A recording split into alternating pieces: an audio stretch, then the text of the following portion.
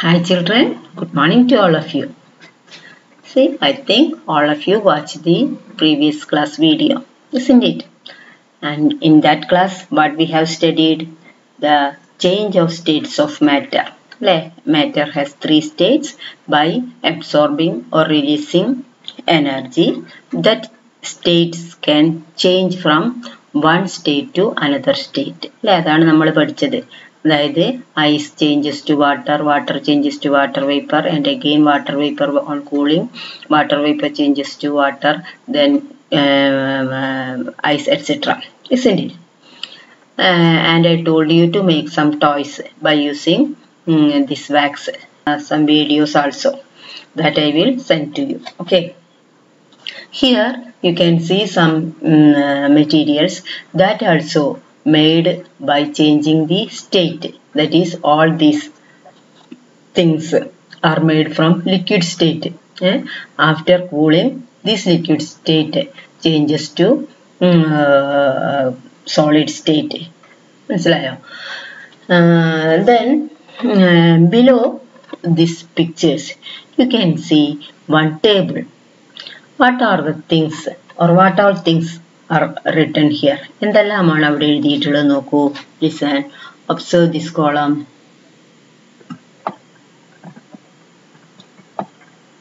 see first table column the heading is situation second change taking place in state or in shape എന്തെല്ലാം മാറ്റങ്ങളാണെന്ന് നോക്കാം first one എന്താ heating solid ghee you know what is solid ghee നെയ്യ് ഉണ്ടല്ലോ ആ അതായത് നമ്മൾ ചില സമയങ്ങളിലൊക്കെ നെയ്യ് എങ്ങനെയാണ് ലിക്വിഡ് ഫോമിലല്ലാതെ നമുക്ക് കട്ടിയായിട്ട് ഉണ്ടായിരിക്കും. അപ്പൊ നമുക്ക് if we want to liquid form what we will do we will heat it അല്ലേ? നമുക്ക് ജസ്റ്റ് ഒന്ന് വെയിലത്ത് കൊണ്ടുവച്ചാലും മതി. What will happen that solid ghee melts അപ്പോൾ when the solid ghee melt what is the state it is in the liquid form then അതായത് there we can change the solid state changes to liquid state അല്ലേ? Second one cutting vegetable cutting vegetables എന്ന് പറഞ്ഞിട്ടുണ്ടെങ്കിൽ അവിടെ state മാറുന്നുണ്ടോ? ഇല്ല. The vegetables shape changes or the size changes അല്ലേ? അപ്പൊ അവിടെ ഇറ്റ് ബിക്കം സ്മോളർ പീസസ് എന്ന് പറഞ്ഞാൽ it shape and size changes അവിടെ സൈസ് അല്ലെങ്കിൽ ഷേപ്പാണ് ചേഞ്ച് ചെയ്യുന്നത്.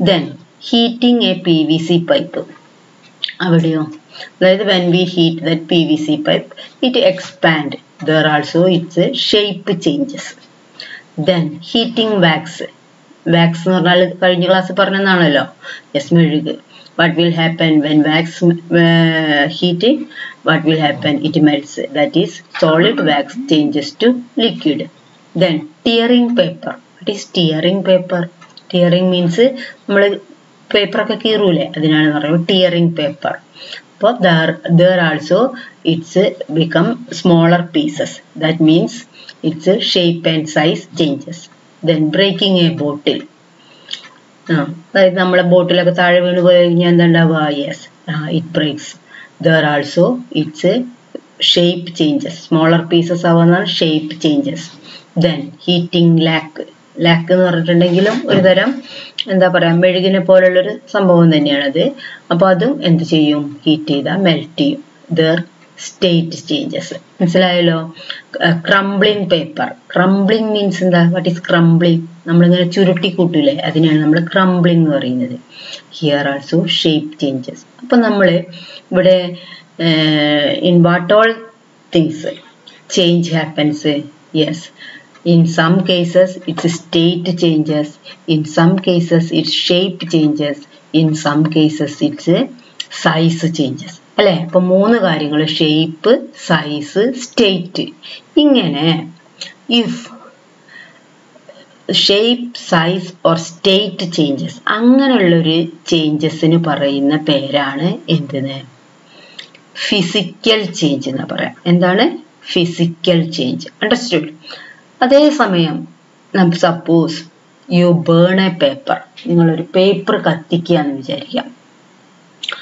അപ്പൊ അവിടെ നമ്മളെ ഷേപ്പ് ആണോ? അല്ല. സൈസ് ആണോ? അതുമല്ല.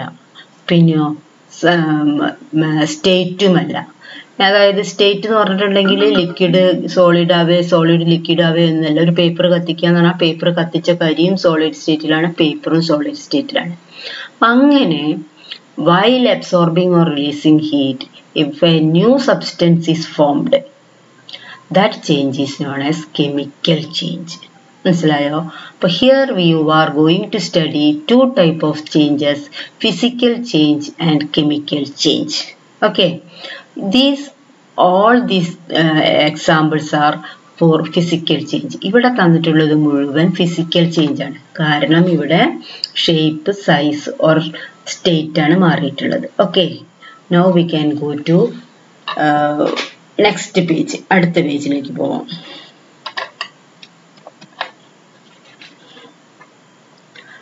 See observe here.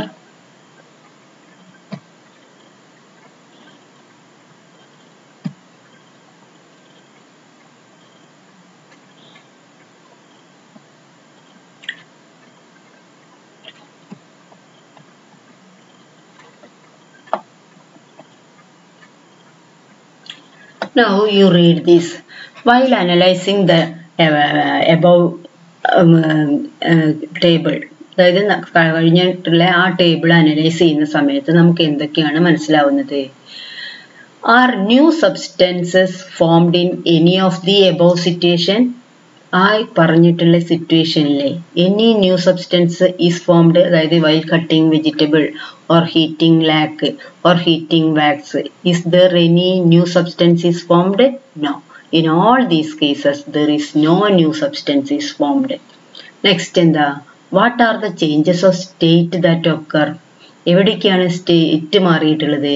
When we heat ghee and when we heat lac അപ്പൊ അവിടേക്ക് എന്താണ്? സ്റ്റേറ്റ് ആണ് മാറിയിട്ടുള്ളത്. Which among them involve a change in shape ഷേപ്പിൽ എവിടെയാ മാറിയത്?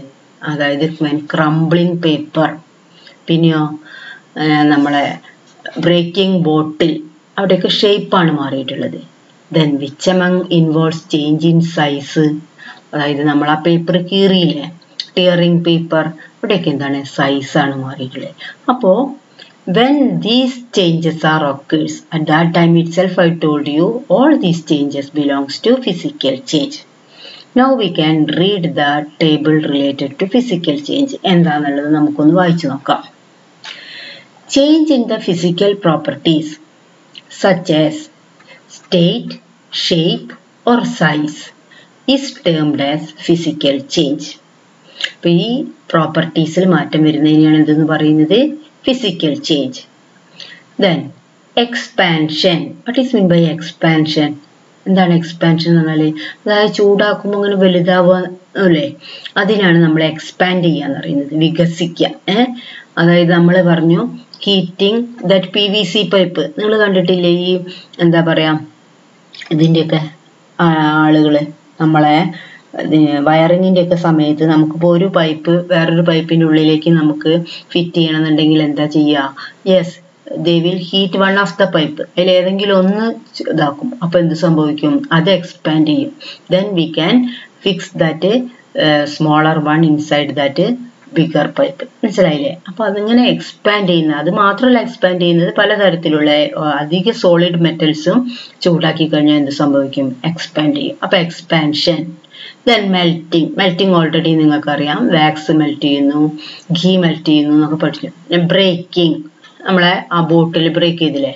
Tearing etcetera are all physical changes മനസ്സിലായല്ലോ? അപ്പൊ നേരത്തെ കൊടുത്തിട്ടുള്ള expansion melting breaking tearing etcetera are all physical changes here new substances are not formed during physical change മനസ്സിലായല്ലോ? അപ്പൊ physical ചേഞ്ചിൽ എന്ത് സംഭവിക്കുന്നില്ല? There is no new substance is formed so what is mean by physical change എന്ന് ചോദിച്ചാൽ you can write all these points okay so you have to by heart that points okay? നിങ്ങൾ പഠിക്കുക വീട്ടിലിരുന്നിട്ട് miss interaction ക്ലാസ്സിൽ വരുമ്പോഴേക്കും നിങ്ങൾ എന്ത് ചെയ്യണം? You have to study this okay?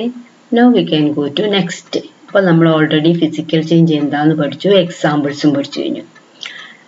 Next you can see one heading permanent change. What is mean by permanent change? അപ്പോൾ നമുക്ക് ഈ ഫിസിക്കൽ ചേഞ്ച് നമുക്ക് പെർമനന്റ് ചേഞ്ച് ആണെന്ന് പറയാൻ പറ്റുമോ അതായത് ഇപ്പൊ നമ്മൾ വാക്സ് ചൂടാക്കി. ചൂടാക്കിയപ്പോൾ എന്താ സംഭവിച്ചത്? അത് എന്താണ് മെൽറ്റ് ചെയ്തു. ഇനി അതിനെ നമുക്ക് തണുപ്പിച്ചാലോ? അത് വീണ്ടും സോളിഡ് ഫോമിലാവൂലേ അപ്പൊ അതെന്തല്ല? പെർമനന്റ് ചേഞ്ച് അല്ല? What is mean by permanent change എന്ന് പറഞ്ഞാൽ എന്താ? സ്ഥിരമായിട്ട് മാറുക. അപ്പൊ ഈ നെയ്യാണെന്നുണ്ടെങ്കിലും വാക്സ് ആണെന്നുണ്ടെങ്കിലും ഒക്കെ when we heated it just changes to liquid on cooling it again changes to solid form അപ്പോൾ so it is not a physical change sorry permanent change അപ്പോൾ അത് സ്ഥിരമാറ്റമല്ല അപ്പോൾ ഇനി നമുക്ക് പെർമനന്റ് ചേഞ്ച് ആയിട്ടുള്ളത് എന്താണെന്ന് നോക്കാം. ഓക്കെ എന്താണ് ഇതിൽ കൊടുത്തിട്ടുള്ളത്? Are all changes physical changes let's do the following activities take some sugar in a spoon you observe that picture here s- child is take some sugar in a spoon and heat until it melts. ഇത് നിങ്ങൾക്ക് വീട്ടിൽ നിന്ന് ചെയ്തു നോക്കാവുന്നതേ ഉള്ളൂ. പക്ഷെ ആ spoon പിടിക്കുമ്പോൾ നിങ്ങൾ എന്ത് ചെയ്യണം? കൈ ഒരു കടലാസം ഉണ്ടെങ്കിൽ കാരണം spoon is a metal so when you heat that spoon that heat will passes through its hand and that will reach your hand മനസ്സിലായോ? ആ സ്പൂണിന്റെ ഇതിലൂടെ വന്നിട്ട് നിങ്ങളെ കയ്യിൽ ചൂടാവും. അപ്പം നിങ്ങൾ എന്ത് ചെയ്യണം? അവിടെ നിന്ന് കൈ കടലാസം കൊണ്ടോ എന്തുണ്ടെങ്കിൽ ഒന്ന് കൂട്ടിപ്പിടിക്കുക. ഓക്കെ അപ്പോൾ എന്താണ് ഇവിടെ ചെയ്തിട്ടുള്ളത്? Take one spoon and put some sugar and heat it well heat ചെയ്യുമ്പോൾ എന്താ സംഭവിക്കുക? ആ first of all it melts ആദ്യം അത് മെൽറ്റ് ചെയ്യും.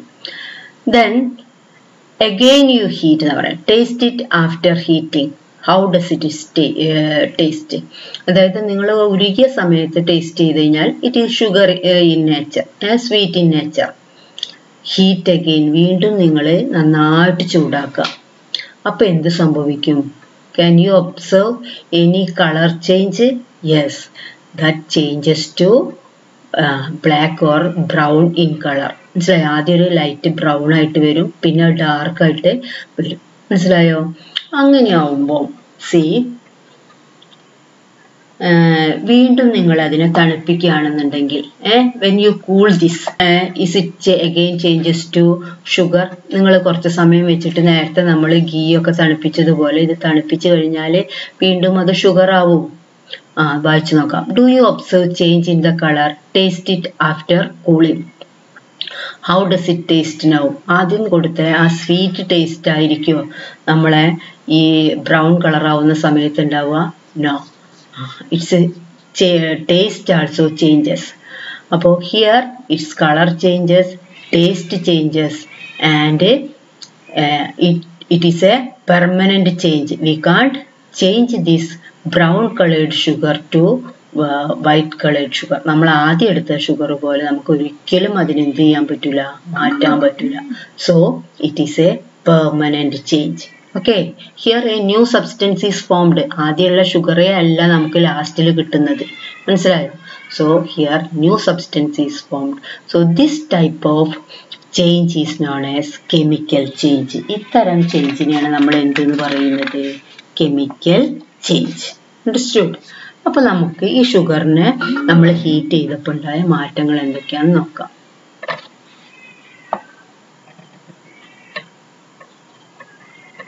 See here you can see one table.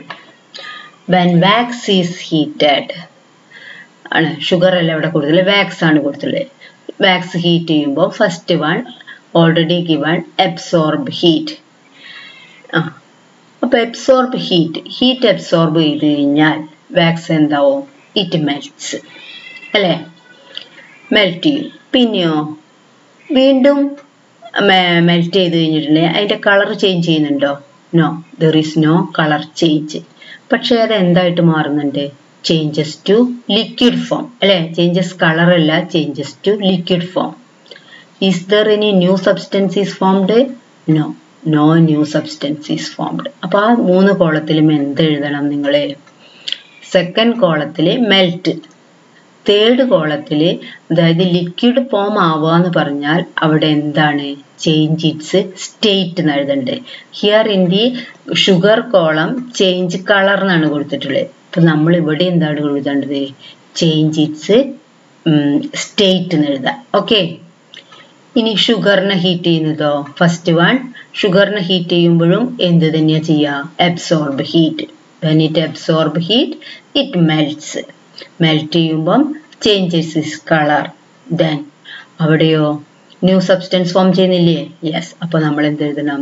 New substance is formed okay so this is the way you want to fill up that column okay? So this is very important. You want to study well for the exam.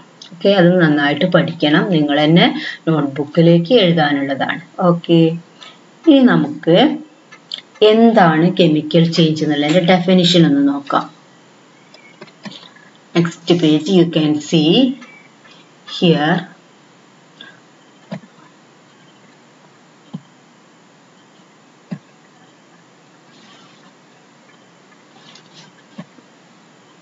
one table is there. What is mean by chemical change?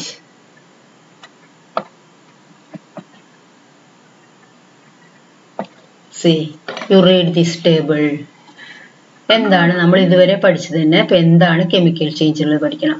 The process in which substance change into new substance by absorbing or releasing energy അത് നമ്മൾ already പഠിച്ചു കഴിഞ്ഞിട്ടുണ്ട്. ഒരു വസ്തുവിന് മാറ്റം വരണമെങ്കിൽ എന്ത് വേണം? ഒന്നുകിൽ അത് എനർജി അബ്സോർബ് ചെയ്യണം അല്ലെങ്കിൽ റിലീസ് ചെയ്യണം എന്ന് ഏറ്റവും ആദ്യം പഠിച്ചു കഴിഞ്ഞു. അപ്പോൾ here also change occurs due to absorbing or releasing energy ഇനി അബ്സോർബ് ചെയ്യുക റിലീസ് ചെയ്യുക ചെയ്തിട്ട്? എന്തുണ്ടാവണം? Change into new substance അതായത് പേപ്പർ കത്തിച്ചില്ലേ? അപ്പൊ പേപ്പർ കത്തിച്ചപ്പോ എന്താ ഉണ്ടായത് ആ കരി ഉണ്ടായി ആ കരി എന്ന് പറയുന്ന ഒരു പുതിയ വസ്തുവാണ് അല്ലെ? So this is known as chemical change so once again I read to you the process in which substance change into new substances by absorbing or releasing energy is termed a chemical change. Chemical change is a permanent change എന്താണ് അതിന്റെ അർത്ഥം. Chemical change നടന്നു കഴിഞ്ഞാൽ പിന്നെ ഒരിക്കലും നമുക്ക് എന്തിനാക്കാൻ പറ്റൂല. ആദ്യത്തെ വസ്തുവാക്കി മാറ്റാൻ പറ്റൂല. അത് ഓൾറെഡി ഒരു പുതിയ വസ്തുവായിട്ട് മാറി പെർമനന്റ് ആണ് സ്ഥിരമായിട്ട് മാറി കഴിഞ്ഞു ഓക്കെ അതേസമയം physical change is not a permanent change എന്ന് എഴുതേണ്ടത്. Okay now write some examples for chemical change അപ്പോൾ ഒന്ന് നിങ്ങൾക്ക് എഴുതാം ബേണിംഗ് പേപ്പർ അല്ലേ? സെക്കൻഡ് വൺ നിങ്ങൾ എന്തെഴുതും? നിങ്ങൾക്ക് ഒരുപാട് എക്സാമ്പിൾസ് നിങ്ങൾക്ക് വേണമെങ്കിൽ നിങ്ങളുടെ ഇത് ചുറ്റുപാടിൽ നിന്ന് തന്നെ കണ്ടുപിടിച്ച് എഴുതാൻ പറ്റും. അതായത് നമ്മൾ മാങ്ങ പഴുക്കുക. നമുക്ക് മാങ്ങ പഴുക്കുക എന്നൊരു ചേഞ്ച് തന്നെയാണ്. ഈ പഴുത്ത മാങ്ങനെ നമുക്ക് വീണ്ടും പച്ചമാങ്ങയാക്കാൻ പറ്റുമോ ഇല്ല. ഒരിക്കലും ഇല്ല. അതായത് അവിടെ എന്താണ്? ഒരു പുതിയ വസ്തു ഉണ്ടായി. മനസ്സിലായോ?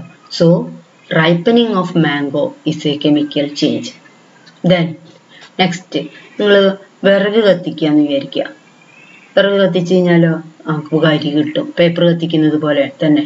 Burning firewood it is a chemical change അങ്ങനെ so many examples are there okay ഇനി ഇവിടെ നമുക്ക് എന്തൊക്കെയാ കൊടുത്തിട്ടുള്ളത് നോക്കാം. First one burn a magnesium ribbon magnesium ribbon എന്ന് പറഞ്ഞാൽ that is available in the lab ലാബിൽ കിട്ടുന്ന ഒരു മെറ്റലിന്റെ ഒരു ലൈറ്റ് ആയിട്ടുള്ള ഒരു പീസാണ് മെഗ്നീഷ്യം റിബൺ എന്ന് പറയുന്നത്.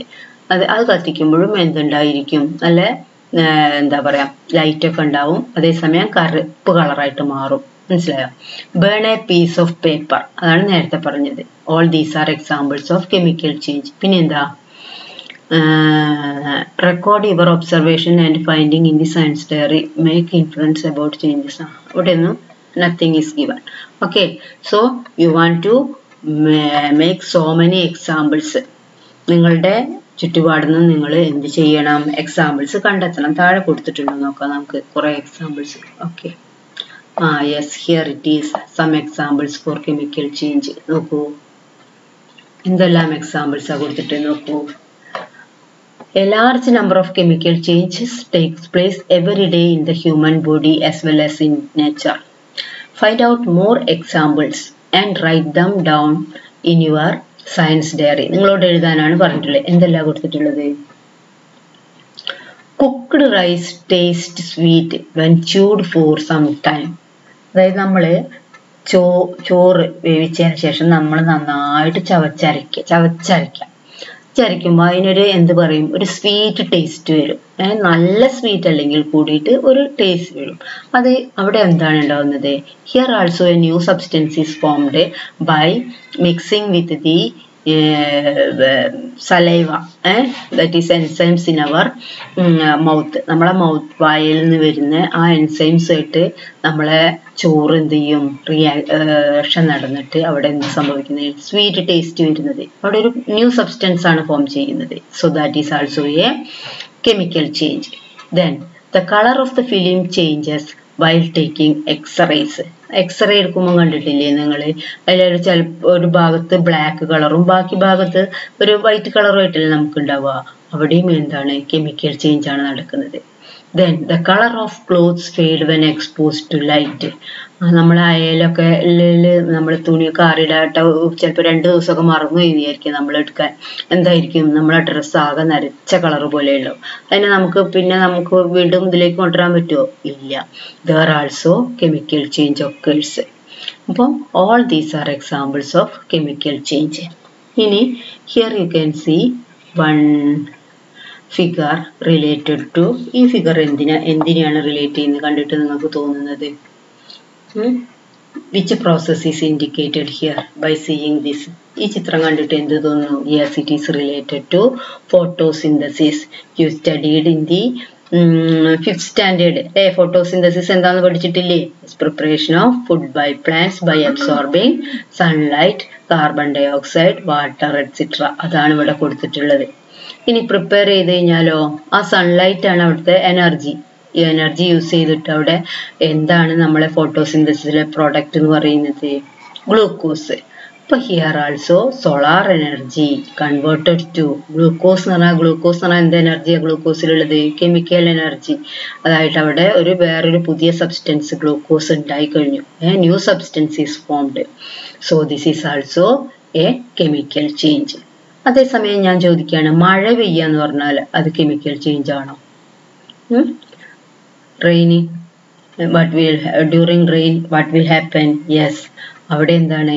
Cooling by absorbing heat energy the water from the water bodies rises up and water vapour is formed on cooling this water vapour again changes to water അവിടെ ഒരു ന്യൂ സബ്സ്റ്റൻസ് ഉണ്ടാവുന്നുണ്ടോ? ഇല്ല. There is no new substance is formed so formation of rain is an example of physical change okay. These are the things you want to study in this lesson okay. So this is up to the the end of this lesson. മനസ്സിലായോ? ഇതിന്റെ ലെസന്റെ അവസാനം എന്ന് പറയുന്നത് നമ്മളെ rain ഫോർമേഷനും കൂടിയുള്ളൂ okay so we can wind up the class no നമുക്ക് ലെറ്റസസ് ഒക്കെ അടുത്ത ക്ലാസ്സിൽ പറയാം. പക്ഷേ ഇനി ഇതിനു മുമ്പായിട്ട്. We already conduct one class test is in ഡീറ്റ് so next week unit test is there so we can study these two lessons for unit test. Okay? Thank you children.